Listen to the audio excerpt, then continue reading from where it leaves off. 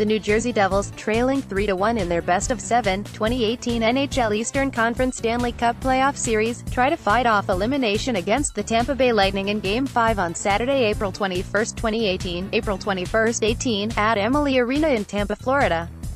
Here's what you need to know, who, Devils vs. Lightning what Game 5, Eastern Conference, NHL Playoff Series, Lightning leads, 3-1 win, Saturday, April 21, 2018 Time, 3 p.m. Eastern TV, NBC Livestream, NBC Sports Live The Devils, who have appeared overmatched by the Lightning's scoring and physical play, will try to send the series back to New Jersey with a win, but the way the Devils have been manhandled, a road win is a long shot. Devils have already switched goalies, from Keith Kinkaid, who gave up nine goals in two games, to Cory Schneider, who slumped and was benched in the last part of the regular season, but has been mostly solid. Devils defenseman Sami Vatanen, a victim of a brutal hit by Lightning's Nikita Kucherov, is day-to-day. -day. The Devils, who resented the ferocious check that left Vatanen with an upper body injury, did nothing to retaliate.